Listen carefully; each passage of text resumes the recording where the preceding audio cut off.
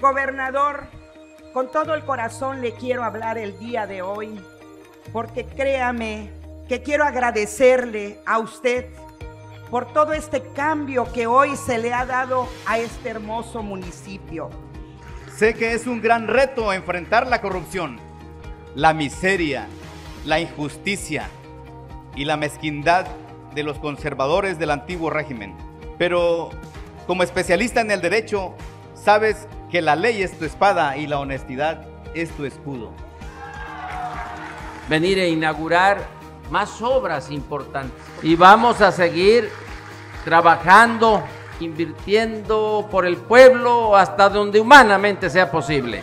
Vamos a invertir todo el presupuesto para que vengan a disfrutar de Suchiate, que sea un espacio del que nos sintamos muy orgullosos.